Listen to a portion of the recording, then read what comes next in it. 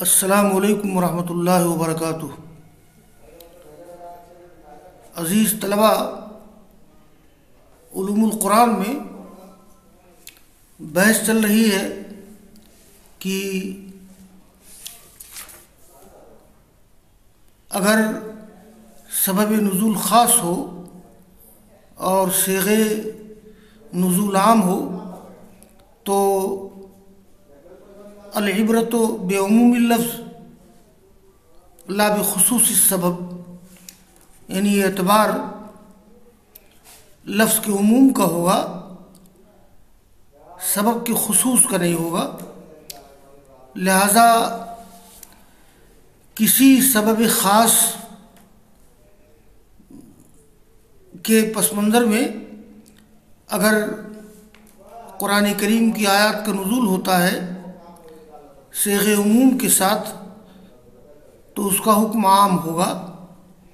यानी जिस ख़ास सबब की वजह से आयात का नज़ुल हुआ है, जब भी उसी तरह के हालात पेश आएँगे तो उन आयात का हुक्म उनको भी शामिल होगा। इस सिलसिले में मुसनफ़ ने मिसाल पेश की थी सूर नूर की आयत की सूर नूर की आयत नंबर छः से लेकर के नौ तक, जिसमें लियान का और हद कज़फ़ का ज़िक्र किया गया है तो उसका सबब तो ख़ास है, यानी हिलाल बिन उमैया ने अपनी बीवी पर इल्ज़ाम लगाया था, शरीक बिन शरीक बिन सहमा के साथ तो उसी वजह से उन आयात का नज़ुल हुआ है। लेकिन जब भी कोई शख्स इल्ज़ाम लगाएगा बीवी पर तो या तो चार गवाह लाए, वरना उस पर हद कज़फ़ जारी की जाएगी, और या फिर मियाँ बीवी लियान करें तो ये हुक्म आम है।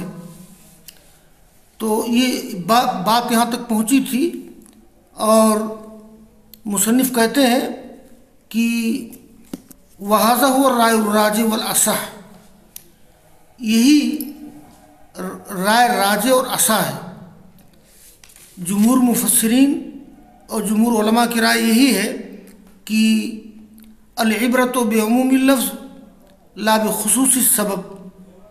यानी अगर सबब नज़ुल ख़ास हो और सेग नज़ुल आम हो तो एतबार लफ्ज़ के उमूम का होगा, सबब के खसूस का नहीं होगा। तो वहादा हो राज वलसह वल्लदी यतफ़िक मामूम अहकाम शरिया वल्लदी सहाबत वलमुश्तहदून बिन हाजिल उम्मा। फ़ादू बहकमिल आयात इला गैर इला गैर इला गैर सूरत सबबिहा फ़ादो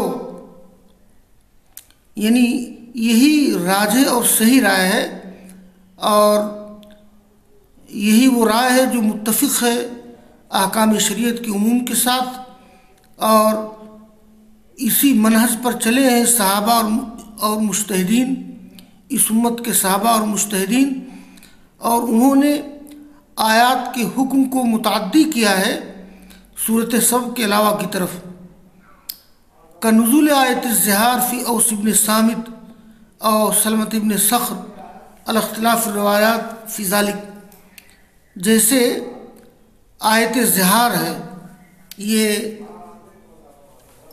सूर मुजादला में जो आयत जहार है तो आयत जहार का ताल्लुक या तो औस बिन सामित से है या सलमा बिन सख्र से? है लेकिन, अब भी अगर कोई शख्स बीवी से जहार करता है तो उसका वही हुक्म होगा जो उन आयात से मुतलक साहबा का हुक्म था, वही हुक्म होगा। ये देखिए आयत जहार इस तरह से है। ये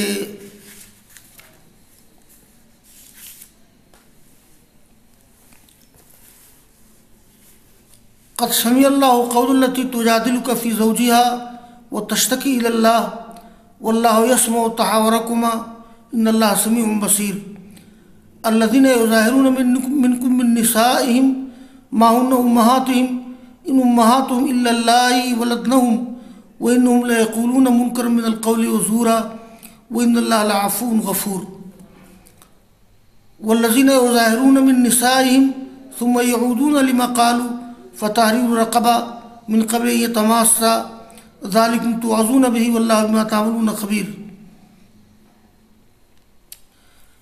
तो ये सूर्य मुजादला में जो जहार से मुतक़ आयात हैं इशारा इसी तरह मुसनफ़ ने किया है कि जैसे आयत जहार का नज़ूल और बिन सामित के बारे में या सलमा बिन फ़ख्र के बारे में इस बारे में इख्तलाफ रवायात की वजह से तो जहार का मतलब ये है कि कोई शख्स अपनी बीवी को कह दे, अंत कज़ार उम्मी, और उसमें सामित ने अपने बीवी से कह दिया था, और जाहिलियत की रविश के मुताबिक जो आदमी अपनी बीवी से कह दे, अंत अंत कज़ार, अलिय कज़ार उम्मी तो उसको हराम समझ लेते थे तो शरीयत ने इसको मुनकर और झूठी बात करार दी है। और इसकी सजाएँ बताई है कि एक ग़ुलाम आज़ाद करना, या दो महीने का रोज़ा रखना, या साठ मस्किन को खाना खिलाना, इन तीनों में से जो भी आदमी एक तरीक़ा अपना सकता है। तो आयत जहार का नज़ूल उसमिन सामित के बारे में, या सलमा बिन फ़ख्र के बारे में तो वल एहतजाज बेमूम आयातिन नज़रत अला इसबाब ख़ासा शायम लगा इल्म, और इस्तलाल करना आयात के उमूम से जिनका नज़ूल ख़ास इसबाब की वजह से हुआ हो, ये मशहूर है और आम है अहल के नज़दीक। इबन तैमिया कहते हैं, आगे मुसनफ़ ने शेख़ुलस्लाम ने तैमिया की एक बात नकल की है, ये कालबन तैमिया कदीजी वहाजा कसीरन उमिन हाजल बाब कौलहम, हाजिल आय तो नजरत फ़ी कज़ा। इबन तैमिया कहते हैं कि ऐसा बहुत आता है, इसी कबील से है लोगों का ये कौल, हाजिल आए तो नजरत फ़ी कज़ा। यानी कभी कभी कोई वाक़ पेश आया तो लोग कह देते हैं, हाजिल आए तो नजरत फ़ी कज़ा। अब हम लोगों के ज़माने में भी अगर ज़ार का वाक़ पेश आ जाए या बीवी पे इल्ज़ाम का वाक़ पेश आ जाए तो हम कह सकते हैं कि हासिल आए तो नजरत फ़ी कज़ा, ये फ़ला आयत इसी के बारे में उतरी है। लासीमा इनकान मजकूर व शख्सन, ख़ास तौर पर अगर मजकूर कोई शख्स हो, जैसे उनका कौल है, इन आयत जहार नजरत फ़ी इमरात और सामित व इन आयत कलाला नजरत फ़ी जाबरी अब्दुल्ला की आयत जहार का नज़ूल और उसमें सामित की बीवी के बारे में हुआ है और आयत कलाला का नज़ूल जाबिर बिन अब्दुल्ला के बारे में हुआ है। कलाला का ज़िक्र मैं किसी मौके पे कर चुका हूँ कि कलाला उस शख्स को कहते हैं कि ला उसूल वाला फ़ुरू आलहू, जिस आदमी की उसूल फ्रू न हो, उसको कलाला कहते हैं। तो जाबिर बिन अब्दुल्ला रज़ी अल्लाह तहों का मामला था कि इनकी वफात हो गई और इनके उसूल फ्रू नहीं थे, यानी लड़का, पोता वगैरह या बाप, दादा वगैरह नहीं थे। तो वो कलाला थे। कलाला औरत भी औरत भी हो सकती है और मर्द भी हो सकता है। तो आयत कलाला का नजूल जाबिर अब्दुल्ला के बारे में हुआ है। और एक ही अल्लाह ताला का कौल वान हुकुम बिन नजरत फ़ी बनी क़ुरैज़ा व नज़ीर। ये आप फैसला कीजिए उनके बारे में, ये सूर्य मायदा की आयत है। इनका नज़ुल हुआ है बनु क़ुरैज़ा, बनु नज़ीर के बारे में। वो नज़ायरकुम नौ नज़ला फ़ी कौमशरकिन भी मक्का। और इस तरह की बहुत सी मिसालें हैं जिनका लोग ज़िक्र करते हैं कि उसका नज़ुल हुआ है मुशरकिन मक्का।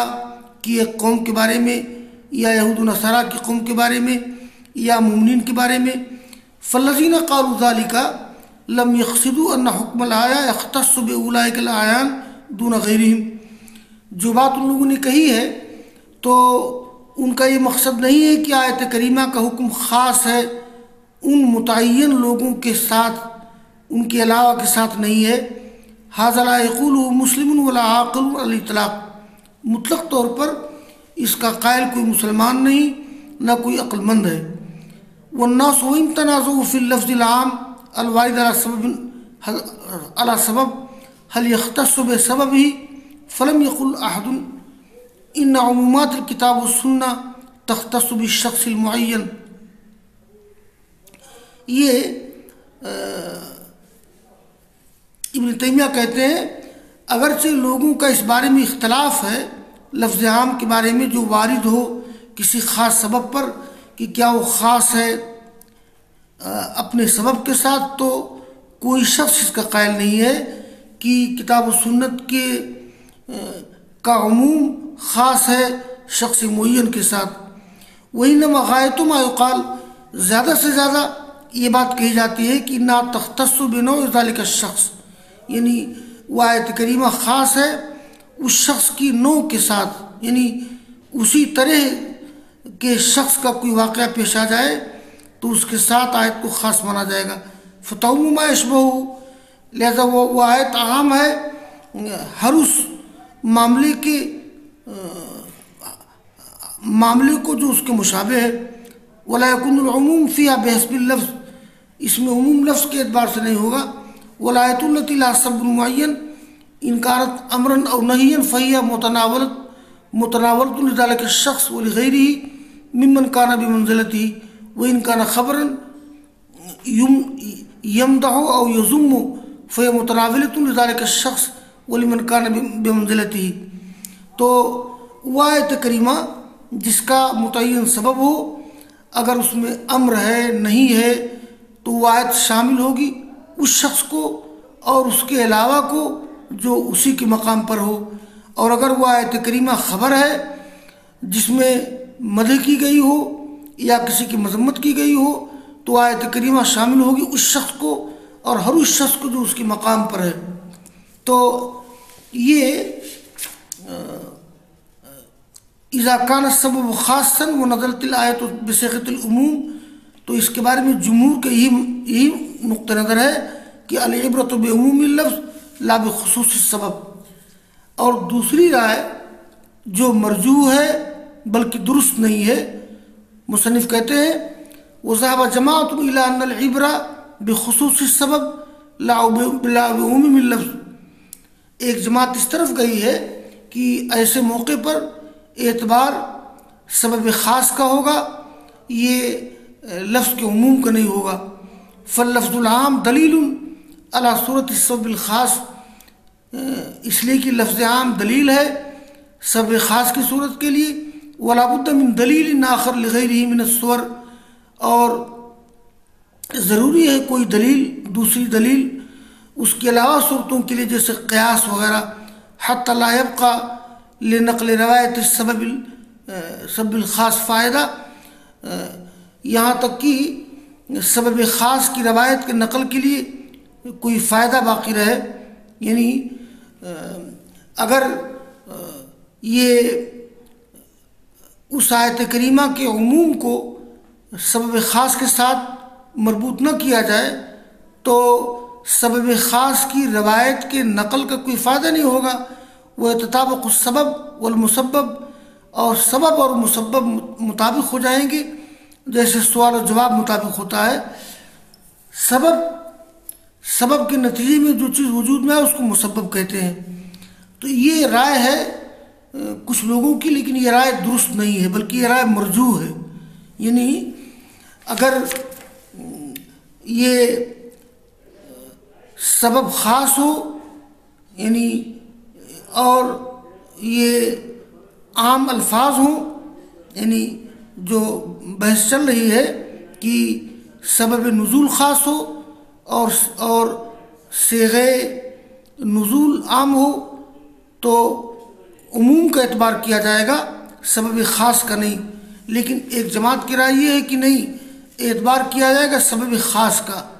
लेकिन यह राय दुरुस्त नहीं, इसलिए कि कुरान करीम के बहुत से अहकाम का ताल्लुक़ बहुत से वाक़ात से, बहुत से मामला से है लेकिन वो अहकाम उन सब लोगों के लिए हैं जिनके हालात व मामला उसी तरह से हों। लिहाजा ये राय मरजू है, बल्कि दुरुस्त नहीं है। तो वाखुरदाना अलहमदिल्ला रब्बिल आलमीन।